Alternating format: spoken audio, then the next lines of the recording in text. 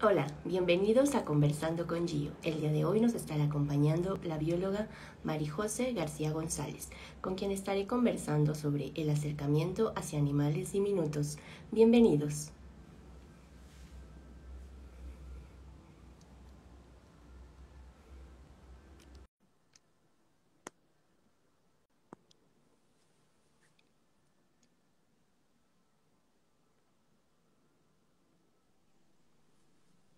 Hola, Marijo.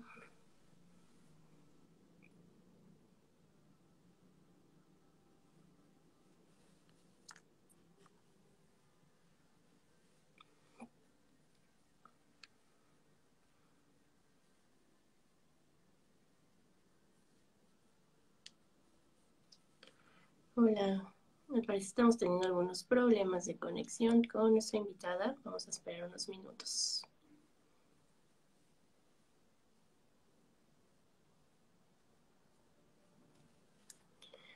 Vamos a esperar ahorita unos minutos a que se vuelva a conectar. Gracias por acompañarnos en esta tarde.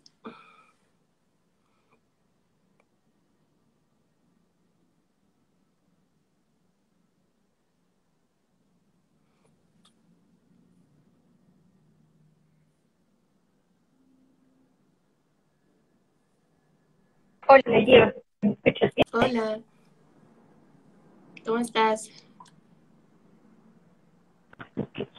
No te escucho. ¿No me escuchas? Yo sí te escucho bien, un poco entrecortada, pero bien.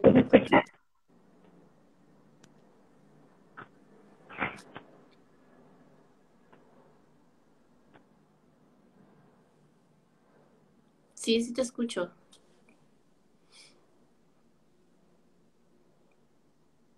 ¿Ya nos escuchan?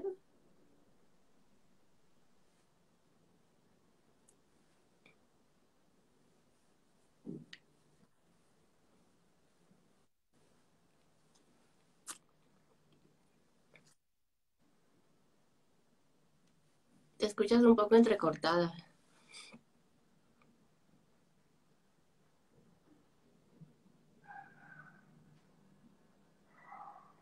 No te escuchamos, Majo. Eh, te puedes volver a conectar.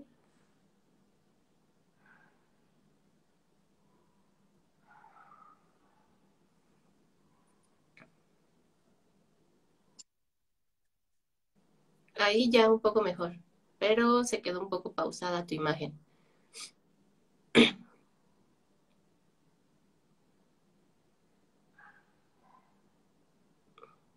Ahí, a ver. ¿Ya nos escuchas tú?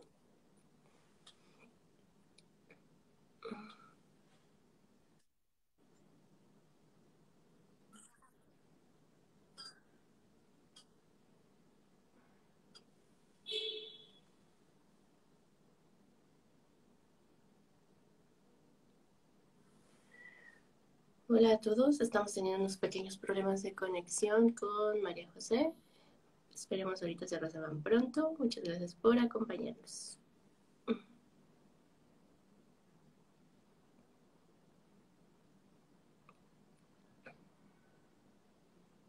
Vamos a esperar a que María José pueda conectar de nuevo y esperemos ya sea mejor su conexión. Espero ya estén listos para una tarde interesante.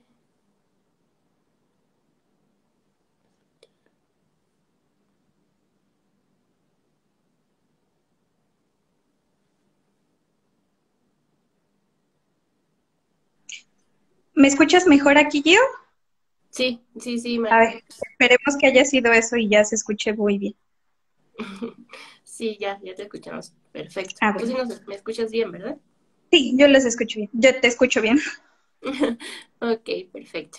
Bueno, pues esperemos así siga. Ahí cualquier problemita y vemos cómo lo resolvemos. Ay, ojalá que no. Sí, bueno, pues muchas gracias por acompañarnos en esta tarde y pues te iré presentando. Eres bióloga por la Facultad de Estudios Superiores Iztacala de la Universidad Nacional Autónoma de México. Eres especialista desde hace cinco años en el estudio taxonómico de briosos en México. Has asistido a cursos sobre taxonomía y ecología de briosos a cargo de investigadores pioneros del grupo, como lo que son el doctor, el doctor Leandro Vieira Manzoni y la doctora Judith Winston. Actualmente estás estudiando la maestría de Ciencias del Mar y Limnología en la Facultad de Ciencias en CISAL, Yucatán. Este, bueno, pues como ya lo dije, muchas gracias por acompañarnos y por contarnos un poco sobre ti, tu historia y todos los proyectos en los que andas, Mario. Y mi primera pregunta es, ¿tú desde pequeña soñabas con ser bióloga, científica, todo esto? ¿O, o cómo fue que pues llegaste a la biología? ¿Nos puedes contar esa parte de la historia? Ah, claro, yo. Pues gracias a ti por invitarme y pues fíjate que yo desde que estaba en la primaria quería estudiar biología y mi interés surgió cuando iba en sexto de primaria que me dejaron hacer un trabajo sobre algo que me interesara en algún museo y fui al museo, al museo de Historia Natural y estaba investigando trabajo de, de Darwin y de taxonomía. Y a mí eso me llamaba mucho la atención, pero a la vez decía, oye, eso está muy difícil, ¿no? De lograr y de, de conseguirlo, pero era mi sueño. Ok, entonces desde esa, pues ida al museo, digamos, ahí despertó tu interés. Sí. Oye, ¿y cuál ha sido, pues, tu uno de tus mejores recuerdos como estudiante ahí en la FESI? ¿Qué fue lo que más te gustó al estudiar biología ahí? Pues yo creo que como, bueno, no sé si muchos de mis compañeros, pero las prácticas de campo era algo que me apasionaba mucho, ¿no?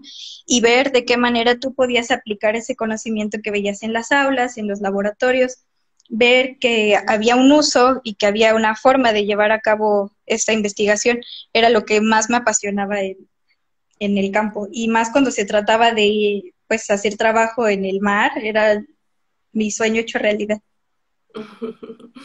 Sí, creo que la mayoría de los colegas biólogos es como lo que más disfrutamos, ¿no? Esas salidas de campo, como que pues tiene sus lados divertidos, eh, el aprender, ¿no? El poner en práctica todo lo que aprendemos en aulas, siento que ahí es donde pues aprendemos un poquito más. Oye, y este, ¿y cómo fue que llegaste a los briosos? ¿Cómo nació esa pasión? O, cuéntanos. Pues fíjate que es una historia, bueno, no muy larga, pero resulta que en la carrera eh, unos compañeros me comentaron que había un libro que se llamaba Cartas a un joven científico. Yo en un principio quería estudiar algún invertebrado que fuera del mar. Y entonces, al darme cuenta de este libro y al leerlo, eh, vi que había unos, porque en realidad este libro da consejos hacia un, hacia un joven científico, como lo dice el título. Y entonces da muchos consejos, pero dentro de los que más se me quedaron grabados y los que más me gustaron, fue que decía que como joven científico, lo primero que te tiene que hacer un tema es apasionarte. Lo segundo es que él sugiere que en el área de la investigación muchas veces es, nuevo, es bueno explorar diferentes campos que están poco estudiados, ya que es más fácil que puedas ser pionero en esas investigaciones y destacar en los grupos, pues ya que la competencia en, la investigación es bastante complicada, ¿no? Entonces fue algo que a mí me, me movió mucho y dije, eso suena muy interesante, pero jamás pensé que en la vida me fuera a pasar estar con un grupo poco conocido. Y entonces en el laboratorio, que yo estaba en el laboratorio de ecología para hacer mi tesis de licenciatura, yo le comentaba a, a mi profe, que era mi, mi tutor en ese momento, que yo quería estudiar corales, porque pues yo pensaba que era, no sé, lo que todo mundo a veces conocemos y, y, él me ofreció ese tema y dije, órale, pues está, está padre, yo, yo quiero estudiar eso. Pero al poco tiempo me dijo, oye, ¿qué crees? Que va a venir una investigadora que se llama Judith Winston. Ella es pionera en el estudio de briosos con los animales que ahora trabajo, ¿no? Y entonces, eh, ¿cómo ves? ¿No te interesaría irte a un curso a CISAL? Y pues la idea es que hagas tu tesis de eso, te empapes del tema y empieces a conocer para que a la larga tú puedas eh, estudiar esos animales en el país. Y me pareció una oportunidad bien padre. La verdad, yo en la carrera nunca, no sé si ustedes, pero yo no vi en el temario de zoología. Entonces, eh, pues me sonaba, pero empecé a investigar y dije, se oye padre, o sea, se oye como lo que yo buscaba, pues un invertebrado marino, acuático, y dije, wow, sí, sí quiero. Pero eh, al yo llegar al curso, pues es una investigadora súper importante, es estadounidense y es pionera. Ella tiene, no sé, alrededor de setenta y tantos años. O sea, lleva toda su vida investigando los briosos y me apasionó, me, me llamó por completo, a pesar de que yo llegué a ese curso pues en ceros, en blanco, aprendí mucho y se me abrió pues un panorama muy diferente a lo que yo a lo que yo conocía, ¿no? Entonces, pues me quedé en briosos y fue algo que me, me ha apasionado muchísimo. Poco a poco les fui tomando mucho cariño, ya voy para, bueno, cumplí ya cinco años de estudiar briosos y es algo que me apasiona muchísimo y me encantan y es un, sí, un cariño que me comentaba mi tutor de la maestría, es que cuando uno llora por su, por su taxa es lo mejor que te puede pasar. Y sí, casi, casi, ¿no? O sea, de, de tanto cariño de verlos, de estudiarlos, porque es un proceso bastante difícil trabajar con algo que no conoces, que ni siquiera sabes cómo estudiarlo, cómo procesarlo, en dónde buscarlo, porque ni siquiera hay claves. Entonces, eh, gracias a los cursos que eh, me invitó mi tutor de la maestría, pude obtener toda esta literatura, pero a veces sí eran muchos golpes de cabeza de decir, hoy no entiendo qué será, Sí, o sea, muchas veces sí dije, ¿por qué estoy haciendo esto? No le entendía, me costaba mucho trabajo entender las estructuras, tan solo los nombres, para qué funcionaba cada cosa, me hacía muchas bolas. Entonces, yo creo que lo que más me gustó fue apreciar todas esas horas bajo el microscopio, bajo los libros, bajo artículos y encariñarme con eso. O sea, siento que eso fue lo, lo más bonito de trabajar con este grupo y así fue mi historia.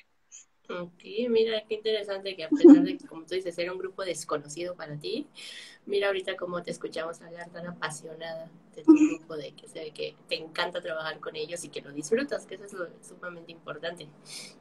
Este, oye, Majo, ¿y de qué trató ya cuando pues ya te metiste en este grupo? ¿De qué fue tu tesis de licenciatura?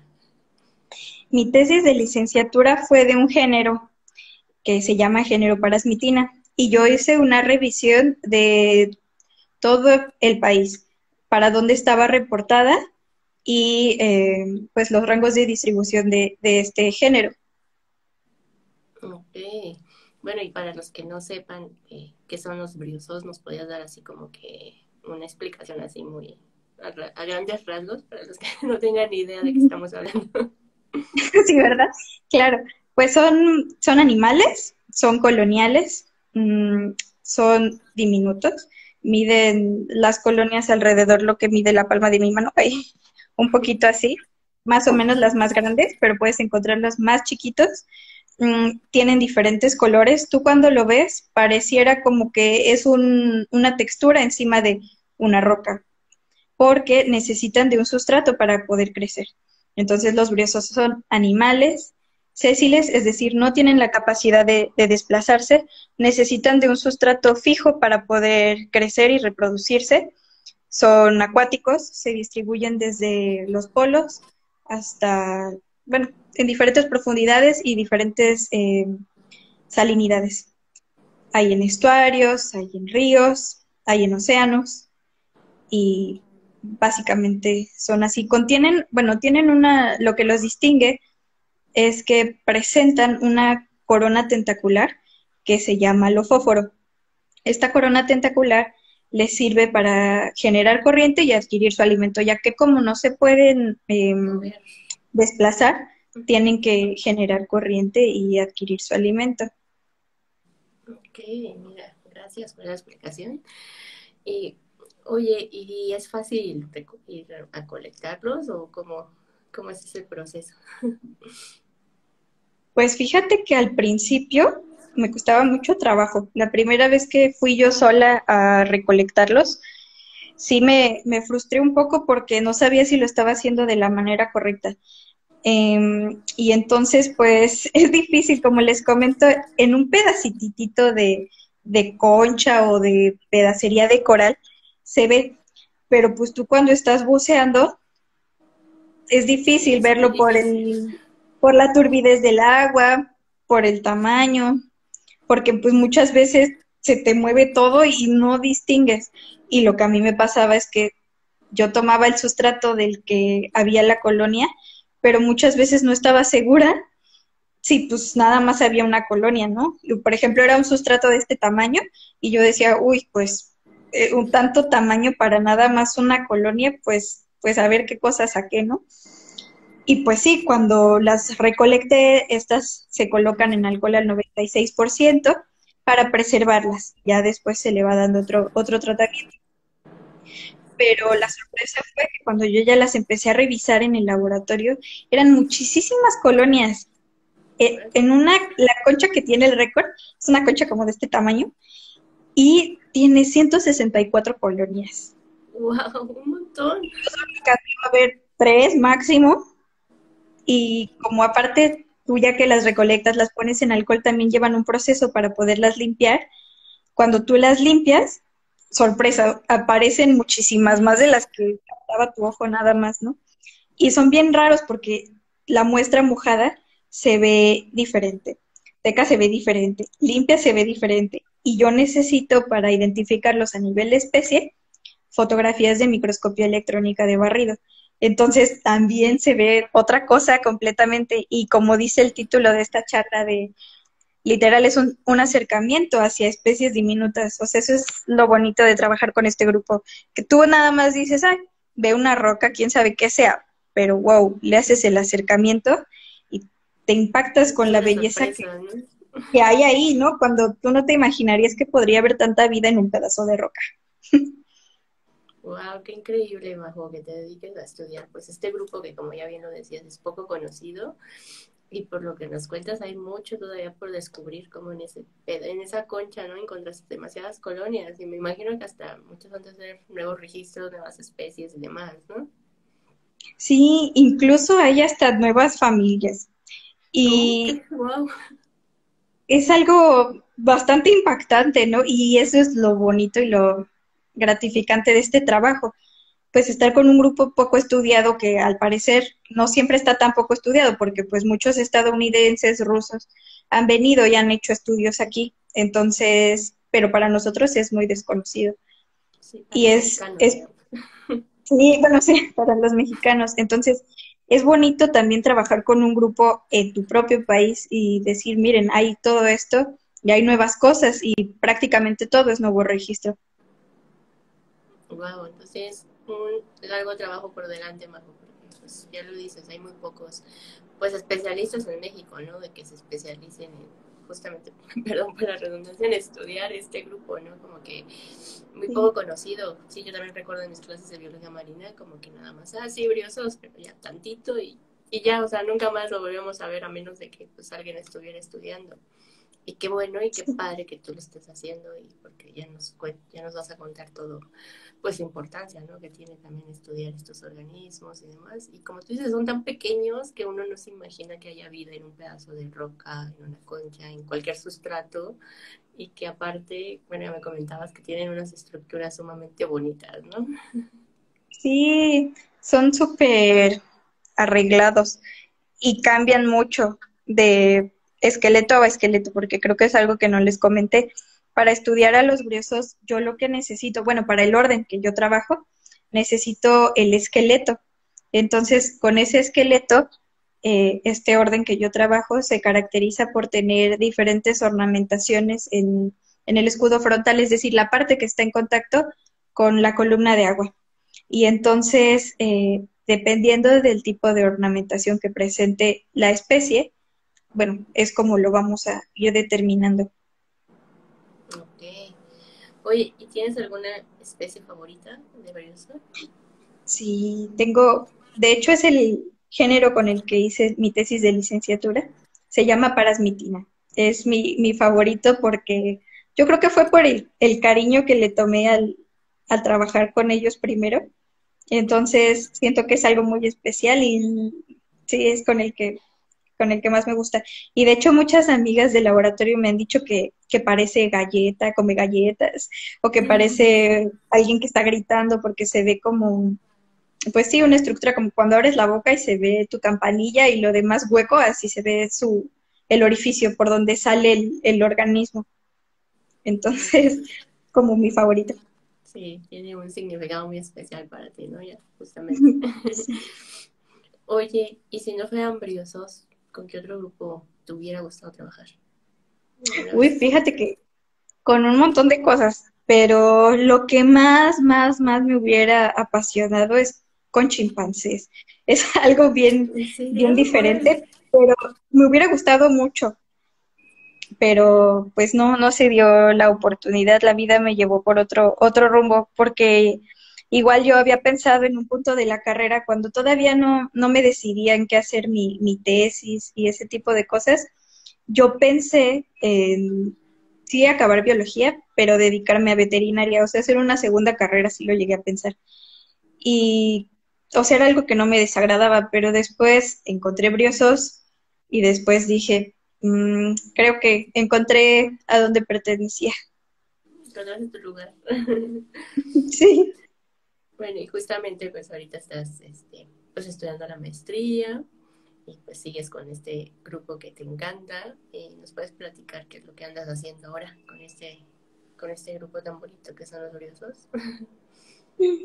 Pues yo lo que me dedico a hacer en mi tesis de maestría es a identificar eh, tres géneros. Uno de ellos es parasmitina, el que mm, hice en mi tesis de licenciatura, otro que se llama esmitina y otro que se llama esquizomabela.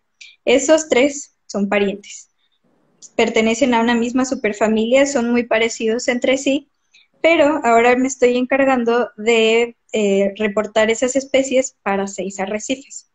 Cuatro de esos arrecifes con los que yo trabajo nunca se habían explorado, al menos no hay registros de eso. Entonces, eh, pues sí estamos haciendo un trabajo bastante importante. Ahorita llevamos, bueno, llevo 1900 ejemplares identificados a, bueno, diferentes morfotipos para esos seis arrecifes. Entonces, eh, de ahí yo solo estoy haciendo para mi tesis tres géneros, pero la idea es continuar con toda esa investigación, identificar lo más que se pueda en este tiempo o después para crear, pues lo que estamos haciendo es una base de briosos, una colección nacional para que que exista algo ya bien en forma, ¿no? En el país, que la gente que se aviente a, estudiarlos tenga una base de dónde empezar, sepa que, o sea, que ya está un trabajo para no empezar desde cero, ¿no? Yo creo que también es algo bien importante para los estudiantes que se motiven a, a saber que hay algo y que pueden contribuir de esa forma. Qué padre trabajo lo que estás haciendo, Majo. Mira, y justamente aquí, Pastora te pregunta, dice que qué increíbles organismos y dice que y cuánto trabajo. Dice que si sabes si los briosos tienen sistema circulatorio. Pues tienen unos sistemas muy complejos. Sistema circulatorio como tal es poco desarrollado, tienen mm, pues sistemas diferentes a los que tenemos nosotros, pero sí, podría decirse que sí. Ok. Oye, ¿y es difícil trabajar con briosos, por ejemplo? Pues sí es difícil, en el sentido que, por lo que te comento de la, de la investigación, que muchas veces no sabes si pueden, pues si lo puedes encontrar tan fácil en la literatura. Ese fue lo más, lo más difícil, saber en dónde buscarlo. Y también saber qué tipo de literatura es la adecuada porque hay muchos lugares que buscas en internet y que sí te aparece que son, pero son falsos. Muchas veces no te dicen bien qué, es. Entonces es algo que te confunde mucho porque si entras, he, he, entrado a varias búsquedas en internet y he encontrado unas cosas bien raras que no, que no están comprobadas y que están erradas. Y es normal porque pues es difícil encontrar ese tipo de información, no es accesible para todos. Ok.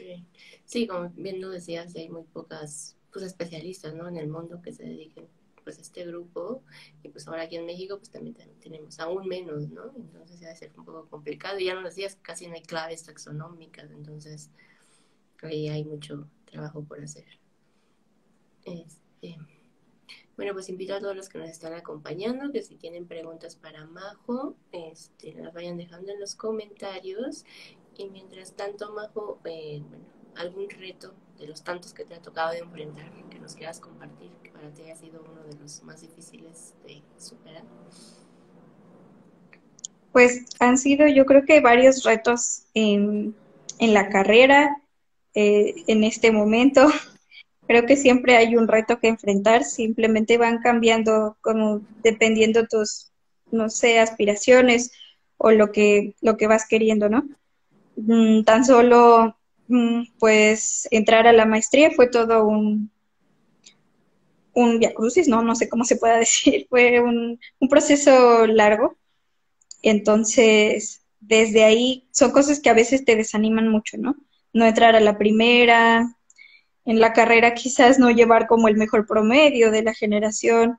Muchas veces algo que igual te comentaba que en el libro de Cartas a un joven científico, también menciona que mucha gente tiene la creencia que para hacer ciencia debe ser alguien, wow, súper dotado, súper un Einstein, ¿no?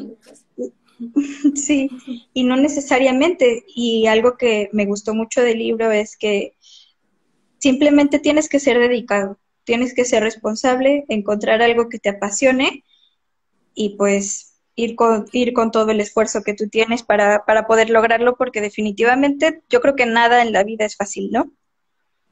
Y si te acercas a las personas adecuadas, si pides ayuda a personas adecuadas, si tú también analizas muy bien qué es lo que quieres eh, dedicarte, yo creo que ahí está la clave, porque mientras hagas algo que te apasione, no te va a costar tanto trabajo como, como parece, ¿no? Así es. Oye, y a pesar de todos estos retos que te ha tocado pues enfrentar, eh, ¿volverías a estudiar biología? Sí, otra vez volvería a estudiar biología y mil veces lo haría porque es algo tan amplio. Puedes estudiar muchísimas cosas. Y yo creo que también lo que pasa es que, bueno, no sé si a ustedes les pasó, pero cuando yo entré a biología, no me imaginaba de qué podía trabajar o sea, yo creo que cuando eres médico, no sé, sabes, abogado, sabes que tu rumbo va como más o menos para un lado, con tus pacientes, con tus clientes, pero en biología el campo es tan amplio que ni siquiera te permite analizar qué puedes hacer, ¿no? Y a mí me pasaba que iba avanzando en la carrera y decía, quiero esto, después quiero esto, después quiero algo más. Y creo que así me sigue pasando o sea, ya más encaminado a los briosos, pero es algo que puede durarte toda la vida, ¿no? Ese entusiasmo por querer aprender todo. Sí, totalmente.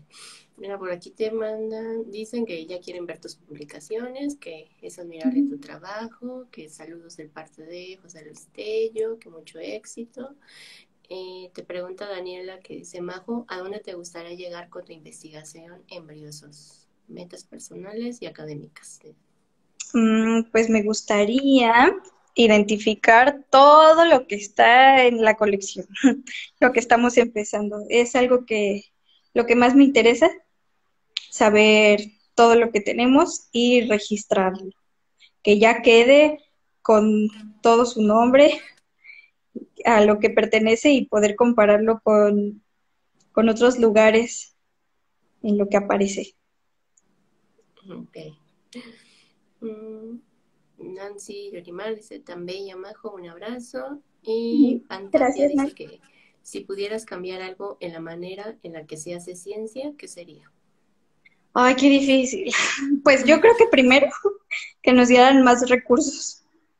Em, yo creo que eso sería lo más importante. Otra que se le diera, uy, muchas cosas, ¿no? Pero que se le diera el valor desde que eres niño, que te inculquen qué importante es, hacer eso. Y que los investigadores ganaran más de lo que gana. No estoy demeritando a los futbolistas ni a la gente que, que hace deporte ni a los diputados, pero sí estaría más padre que los investigadores ganaran mejor. Está solo ahorita con las vacunas, ¿no? La gente, los investigadores que están haciendo tantas vacunas a destajo, el sueldo que tienen comparado con lo que ganan los que gobiernan el mundo, no creo que sea comparable. Y eso yo creo que sería. Ok. Oye, Majo, bueno, pues a lo largo de tu carrera has tenido pues muchas satisfacciones, ya digo que desde el momento que te convertiste en bióloga o, estudiaste biología, ¿no? Y pues me imagino que también te ha tocado, no sé, a lo mejor este, pues nombrar nuevas especies, pero para ti, ¿cuál ha sido una de tus mayores satisfacciones? Pues mi mayor satisfacción han sido muchas, pero yo creo que es bonito cuando alguien reconoce tu trabajo y reconoce la importancia de lo que estás haciendo y que diga, wow, qué padre que te animaste a estudiar esto. Es algo que a mí me llena mucho, ¿no? Porque muchas veces me ha pasado que, pues así, momentos de crisis, decir, ay, a alguien sí le importará lo que estoy estudiando, ¿de qué servirá? O sea, a veces es mucho el esfuerzo y no sé, pues tú piensas mil cosas, ¿no? Y decir sí, a quién le importa y pues mi mamá siempre me dice, claro, que es muy importante, ¿no? Pero a veces es difícil tú creértela, ¿no? Y no sé, muchas cosas. Y eso es muy gratificante que alguien te diga que qué bueno que estás en eso y que qué padre, ¿no? Yo creo que eso es lo más bonito. Sí, porque al final de cuentas creo que todo lo que hacemos es importante, interesante y además nunca sabemos, bueno, o sí, que al final nuestro trabajo puede inspirar a alguien más o puede ayudar a alguien más que apenas esté en la carrera. Que sea, alguien vea esta charla y vea, y, vea lo increíble que es trabajar con briosos y diga, wow, me encanta ese grupo y voy a hacerlo, ¿no? Sí, y sí, eso es como tú dices, eso sería lo más padre, ¿no? O sea, que más gente se anime y diga, wow, pues está padre este grupo, ¿no? Y que pues, más se animen porque hay mucho trabajo. sí. Oye, me imagino que a lo largo de tu vida y de la, carrera has tenido pues muchas, muchas personas que te han inspirado. Eh, ¿Nos puedes compartir alguna de ellas? ¿Quién, ha sido tu inspiración? Ya sea no académico, personal, lo que tú quieras compartirnos. Pues fíjate, yo creo que las primeras personas que me han inspirado son mis papás, mm, mis abuelitas maternas, que, que han sido muy, pues muy trabajadoras, Em, mis amigas del laboratorio, desde luego, mis compañeras, todas las compañeras de CISAL son unas guerreras en todo aspecto y en todo sentido. Son unas mujeres muy fuertes que me han inspirado muchísimo. Y es algo que es bastante reconfortante, ¿no? Ver que hay alguien que lo está haciendo, que ha logrado cosas increíbles, es algo que lo que más admiro. Okay. Mira, por aquí Diana Blue dice, hola Majo, ¿cómo llegaste a estudiar los briosos y qué sabemos de ellos en México? Ay, pues mira, pues mira, hola Diana. Pues resulta que le comentaba a Gio que cuando yo llegué a estudiar briosos fue cuando estaba con el profe Tello y, y yo lo buscaba porque yo le decía, oiga, profe, ¿cómo que puedo estudiar? Yo lo buscaba un montón, y le decía, oiga, puedo estudiar, no sé, corales. Y de repente me dijo, ¿qué crees que va a haber un curso en, en CISAL con la doctora Judith Winston? Y fue cuando dije, pues sí, eso estaría increíble. Y pues me aventé y igual lo que le comento allí es que lo que más me inspiró fue trabajar con un grupo poco estudiado, ya que por la competencia había más posibilidad de que igual tuviera un huequito en algún lado. ¿Y qué sabemos de en México en Briosos? Pues que son un grupo bastante grande, son demasiados, hay muchísima diversidad y pues hasta ahorita llevamos 1900 morfotipos diferentes y apenas estamos averiguando qué son y qué distribución comparten en, en el mundo con otras especies. Así que Tienes mucho trabajo por delante, Majo. eh, Val Rivera dice, hola, si descubrieras una especie, ¿cómo la llamarías? Ay, la llamaría con el nombre de mi perrito. Mi perrito falleció el año pasado, entonces, ahí lo quise mucho, mucho, mucho, y entonces le pondría el nombre de mi perrito. Ok, qué bonito. bueno, pues sigo invitada a todos los que me están acompañando, que si tienen más preguntas para Majo, los dejen en los comentarios. Eh, y de todas las personas a las que admiras, Majo, y pues te inspiran y demás, especialistas en briosos, ¿con quién te gustaría colaborar en un futuro? Uy, pues con Judith Winston y con Leandro Vieira. Y con ellos sería pues mi más grande logro. De hecho, con Leandro Vieira ya eh, hemos colaborado y es algo increíble, ¿no? Como que en tu sueño más fumado se me hubiera ocurrido, ¿no? Pues es como lo más bonito que, te puede pasar, colaborar con alguien grande y pues también con Judith Winston sería lo más increíble que me podría pasar. ¿Estamos seguras que lo vas a lograr? sí, estaría genial. Eh, Daniela dice, ¿cuáles son las zonas de muestreo en tu tesis de maestría? Son seis zonas. Es el arrecife Banco Pera, Banco Nuevo, arrecife Alacranes, no sé si ya dije Cayo Nuevo, no, Cayo Nuevo, eh, arrecife Triángulos y arrecife Banco Obispo. Ok, perfecto. Eh, ¿Alguna anécdota curiosa, chistosa, que nos quieras compartir mm. que te haya pasado y que se pueda compartir?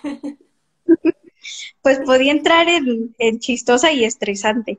Resulta que cuando me fui a la campaña para muestrear eh, estos arrecifes que, les comento, eh, fue una campaña larga, no sé si recuerdo como nueve días, diez, y pues eh, era ir a agarrar todo lo que yo pudiera para, para explorar algo que nunca se había explorado. Entonces yo iba bien emocionada, muestré un montón y pues estos briosos, bueno, el sustrato lo debo preservar en alcohol al 96%. Entonces, ya no me acuerdo si iban cuatro o cinco días y ya casi yo me acababa todo el alcohol del barco. Sí, qué pena con todos, pero me emocioné mucho y entonces lo que tuve que hacer fue reciclarlo. Entonces, eh, lo que hice fue quitar esas, esas muestras que ya llevaban cuatro o tres días secarlas y en esos eh, litros que había reciclado, meter las otras muestras, las que iban saliendo. Entonces fue algo bastante tedioso porque si de por sí ir a campañas es bien cansado y es mucho trabajo, ahora haciendo esto fue como que trabajé doble. Y pues después les dije, pues ya se los recompensé porque encontramos unas cosas increíbles, así que valió la pena y pues ya, con toda la pena del mundo, tuve que, hacerlo. bueno, pero ya al final salieron cosas muy interesantes, ¿no? Y como dices, sí. que te emocionaste mucho por ahí. Y preguntan que qué se sabe de los briosos de agua dulce en México. Pues fíjate que el conocimiento de briosos en México es poco. Y eh, a eso voy. En el agua dulce es mínimo. Había una, una amiga que trabajaba con briosos de agua dulce, pero la verdad ya no supe si, si está continuando. Pero si el estudio de briosos en México es escaso, en agua salada, en agua dulce es mínimo. Eh, mira, por ahí dicen que Diana dice, se emocionó tanto Majo que aún no termina de revisar todo ese material. y ni terminaré como en quién sabe cuántos años, ni siquiera sé si la vida me dé para, para acabar. Por eso, quien lo esté viendo puede entrar a Briosos para que, para que me ayude. Sí, ya saben que si no tienen algún tema de tesis o no saben en qué grupo irse, ya saben que Briosos está necesitando mucha ayuda, hay mucho material por, trabajar. Eh, te pregunta Alma que cuál es tu sueño con respecto a los briosos. Mm, ay, mi sueño. Pues mi sueño, uy, no, ahí ya me voy a volar, la verdad, pero mi sueño, no quiero nada, pero me gustaría que en México hubiera un laboratorio exclusivo de briosos, porque en México no hay eso. y sí, me encantaría que hubiera uno. Pues ahí está, Majo, ya tú puedes irlo fundando poco a poco y cumpliendo, construyendo ese sueño. O sea, yo creo que es un sueño que sí se puede lograr. Pues sí, esperemos que sí. Oye, y aunado a esto, digamos que si viviéramos en el mundo ideal, donde pues tuviéramos los recursos suficientes del financiamiento, donde no fuera limitado, ¿cuál para ti sería tu proyecto ideal? Uy, pues sería muestrear todo México.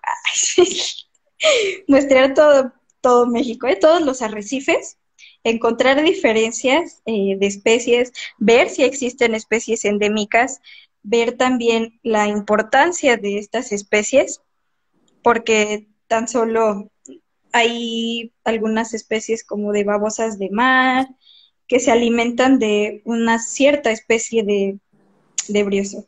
Entonces, me gustaría cómo afecta esto ecológicamente. O sea, apenas estamos viendo qué hay, para después partir de qué nivel ocupan ecológicamente, si son incluso algunas invasoras, porque muchas llegan en cascos de barcos. Yo ahorita tengo una especie que la reporté para Arrecife Banco Obispo y para, creo que para los seis arrecifes está presente, que se llama Parasmitina cautela. Y esta especie me llama mucho la atención porque hay único, un, un, único registro, está para Islas Mauricio. Entonces es algo bien interesante, ¿no? Si esa especie, ¿qué, qué lugar ocupa ahí? y todo eso, me gustaría saberlo. Ok, mira, por ahí sé que te faltó decir que la tenga tu nombre. ah, bueno, sí, también. Una calle, no, no es, cierto, Y pues eso ya sería mucho, pero pues estaría bien. Estaría bien, el pilón, y eh, Game, Game Seals pregunta que si hay brosos invasores en México y en qué afectan es lo que no sé. Pero pues apenas vamos a, vamos a ir viendo y a ver cómo vamos a discernir entre invasor, entre varios términos que, que es ahorita lo complicado, porque tan solo llegan muchas, muchas especies en el sargazo. Y yo la verdad todavía no sé eso. Claro, ya no lo decías, apenas están en el paso donde están conociendo qué hay, qué es lo que tenemos en México en ciertas zonas. Entonces, sí, aunque fíjate que hay un laboratorio en Brasil, que es donde está el doctor Leandro Vieira, que él me ha apoyado mucho con las identificaciones. Eh, él eh, da pláticas y ha hecho conferencias sobre esto de briosos invasores. Supongo que sí hay también en México, pero tendríamos que delimitar muy bien todo eso. Ok. Diana dice, ¿ya platicaste del papel ecológico de los briosos en los ecosistemas donde están? ¿Nos cuentas algo? Ok, pues son muy importantes porque son filtradores. Entonces son microfiltradores, o sea, están chiquitos, pero ayudan a, tener la, el microhábitat limpio. Eso es algo bien importante y de lo que más destaca. También que son la principal, el principal fuente de alimento de muchos organismos como pignogónidos, pignogónidos, sí, babosas de mar, mm, entonces, entre otras cosas, peces, pero sí son muy importantes por eso, que le confieren la salud al, al microambiente. Ok. Y te preguntan que, ¿y cuántas especies de briosos en el Pacífico mexicano? Uy, pues hay más especies de briosos. Mira, en México hay un aproximado de 132 especies de briosos en todo México. En la parte del Pacífico es donde hay la mayoría. Alrededor de, digamos, alrededor de 100 pertenecen al Pacífico aproximadamente y las demás para el Golfo pero ahí también cabe destacar que muchos de lo que pertenece al Golfo de México, solo contamos la parte de México, que en realidad es poquita comparada con lo que tienen Estados Unidos. Mucho de lo que está reportado para el Golfo es para Estados Unidos. Ok. Bueno, y también pues aquí a decir que pues en México pues no se han hecho tantos estudios, ¿no? Como se debería. Quizá tengamos pues, más especies, pero pues falta, ¿no? Como que muestrear más esas zonas. Sí. Oye, Majo, ¿y tienes así como toda buena bióloga tu lista de lugares en el mundo en, en los que te gustaría ir a explorar, conocer? Sí, tengo muchos lugares que quiero explorar. Ay, pues yo creo que, no sé si de todos los biólogos, pero mi favorito sería ir a Islas Galápagos. O sea, siento que ese sería mi, mi mayor sueño. Y pues de ahí en fuera también me quedé con las ganas de ir a Brasil porque justo eh, teníamos planeada una estancia en, en, este semestre para ir y pues aprender más de los briosos, ya que ahí está el laboratorio que les comento. Y era lo, lo más que nos quitó la pandemia, pero ojalá que que se pueda hacer. Sí, esperemos que más adelante, cuando ya se estén mejor las condiciones para viajar, puedas ir a hacer esa estancia a Brasil, que por lo que nos cuenta se ve que está súper muy bien equipado ese laboratorio ¿no? de, de briosos sí. con un montón de gente que se dedique a este grupo, me imagino que ha de ser así como de wow, ahí, con todos ellos, ¿no? Sí, ha de ser increíble. Sí, bueno, pues invito a todos los que nos sigan acompañando que aprovechen estos minutos que tenemos con Majo para hacerle más preguntas, para felicitarla y demás. Y mientras tanto, Majo, ¿hay algún consejo que les quieras dar a los que se quieren dedicar a estudiar briosos? Que se animen a estudiar briosos y a futuros biólogos, no sé. Pues sí, que, que se animen a estudiar briosos no es nada del otro mundo. Eh, pareciera difícil, ¿no? Así como lo planteo, que no hay claves taxonómicas, no hay nada de eso, pero lo que les puede motivar es que pues ya se ha hecho gran parte de este trabajo. Ya están los muestreos hechos, ya si les dan miedo bucear, ya digamos no tienen que hacerlo. o igual si les gusta bucear, también lo pueden hacer, ir a explorar lugares que nos hagan falta y que estén en toda la disposición de aprender porque yo creo que por más estudiado que esté un grupo, siempre va a hacer falta algo, ¿no? Entonces, yo creo que lo más bonito es eso, estudiar algo, apasionarte y darle con todo. Perfecto. Mira, por ahí te dicen que te vayas a hacer el doctorado a Brasil. Ay, sí, estaría genial. Sí, muy bueno. Pues sí, igual, como dice Majo, los invitamos a ahí si hay algún biólogo perdido por ahí que aún no sabe qué, a qué dedicarse, pues que ya sabe que con el grupo de los briosos serán bien recibidos. O igual si tienen dudas eh, sobre briosos, a lo mejor alguien está estudiando y, se siente solo, pues ya sabe a quién puede recurrir, a Majo. A Majo les puede orientar, ayudar.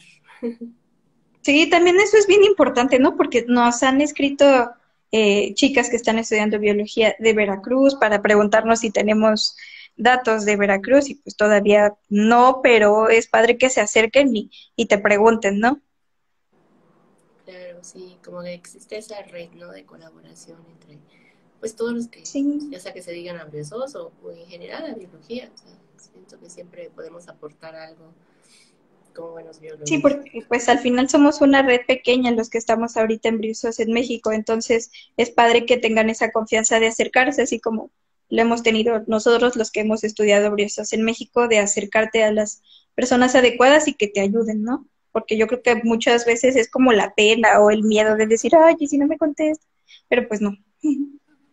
Exacto, que se animen. Además, pues Majo es súper buena onda, así que ella les puede ayudar. Además es buenísima. Y con gusto. no tengan pena ni miedo ni nada, Majo los puede atender sus dudas. Bueno amigos, aprovechen estos últimos minutos que tenemos con Majo y para preguntarle o felicitarla. Y yo mientras tanto, Majo, te quiero agradecer que se hayas estado con nosotros en esta tarde, que nos hayas platicado acerca de los briosos y pues, de todo lo que haces y lo que aún falta por hacer. Muchísimas gracias por tu tiempo y pues no me queda más que desearte mucho éxito, que sé que vas a encontrar muchas cosas muy buenas, interesantes, nuevas especies que te va a tocar ahí nombrar. Y pues mucho éxito en todo lo que venga y pues con todo en esa maestría. A ti, Gio, al contrario, muchísimas gracias por el espacio y por tu interés. Fue un gusto y pues hay que no te desanimes que si ahorita no se dio esa estancia en Brasil, ya se dará más adelante, como dicen, el doctorado o lo que sea, pero se va a dar. Sí. con todo en esa.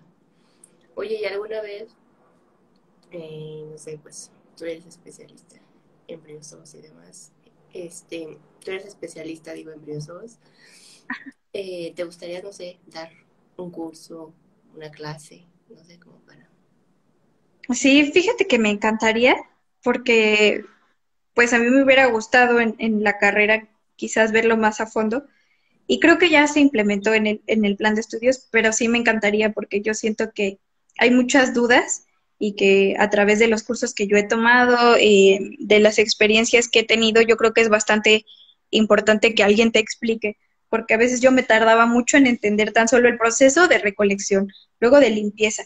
Nos pasó ahorita que justo le estamos ayudando a una compañera con su trabajo de doctorado que es de ARMS, de estructuras de, arrecife eh, artificial. Y entonces determinamos todo lo que encontramos en las placas, lo identificamos taxonómicamente. Y ella está ahorita elaborando un manual.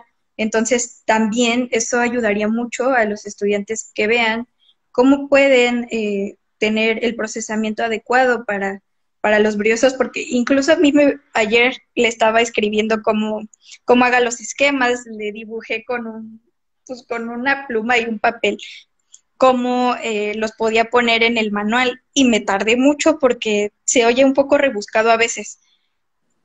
Y pues que alguien te lo explique y te diga, mira, le haces así, haces esto y ya aumentas tal, es algo que agradeces mucho y que te facilita muchas horas, ¿no? De darte golpes en la cabeza y de decir, hoy no entiendo, y sí lo estaría haciendo bien. Y otra cosa que es bien complicada es que en tu fragmento de muestra de concha, que está el pedazo de colonia, tienes que cortarlo. Y pues yo lo corto con cincel y martillo. Al principio me costaba mucho trabajo, pero después le agarré maña y ya lo supe hacer. Pero que alguien te lo explique, yo creo que en línea, en escrito, es difícil. Yo creo que no hay como enseñarle a un alumno directamente de persona a persona eh, cómo, cómo se debe hacer. Claro, y como tú dices, o sea, ahorita que dijiste que con cincel y martillo, siento que sí debes de tener ya ahí muy bien marcado, porque si no, ahí destruyes, ¿no? La colonia. Sí, y fíjate que lo que mejor me ha salido es hacerlo sin miedo, porque al principio tenía miedo y sí salía todo volando y los tenía que ir a recoger al piso, qué pena, pero sí me pasaba. Y entonces ahora ya trato de hacerlo segura y sale mejor. Seguridad de todo. te preguntan que si hay algunos parásitos que afecten a los briosos. Híjole, me parece que sí hay un parásito que afecta, la verdad no te sabría decir cuál, pero sí, creo que hay reportado uno, al menos yo conozco creo que uno, no te sé decir cuál, pero sí hay. Ok, ahí, falta un estudiante que se dedique a estudiar eso. Sí, de hecho. Bueno, pues estamos llegando al final de esta increíble e interesante charla. Y como ya lo dije, muchas gracias por acompañarnos, por tu tiempo, por hablarnos de este fantástico grupo que son los Briosos. Y pues invitar a todos que si no saben dónde ir, a qué dedicarse, pues los briosos ahí los están esperando. Sí, vaya que sí los están esperando. Muchas gracias, Majo. Y muchas gracias a, todos los que nos acompañaron esta tarde, que estuvieron interactuando. Y mira, por ahí te están diciendo que recuerdas que ya diste una clase en la FESI para los alumnos. Ah, sí, eso, eso ha sido bonito, la verdad que te busquen para que les expliques algo, eso es lo más gratificante. Sí, como no lo contabas, ¿no? De que reconozcan tu trabajo, ¿no? Lo que estás haciendo. Sí, yo creo que eso es lo más bonito. Totalmente de acuerdo. Bueno, pues muchísimas gracias a todos. Los veo el próximo martes con una nueva invitada. Y recuerden que esta charla se queda guardada en los IGTV por si la quieren volver a ver, si la quieren compartir. Y también estará disponible en el canal de YouTube. Así que no olviden suscribirse. Muchas gracias, Majo. A ti, tío. Abrazos a todos. Bye.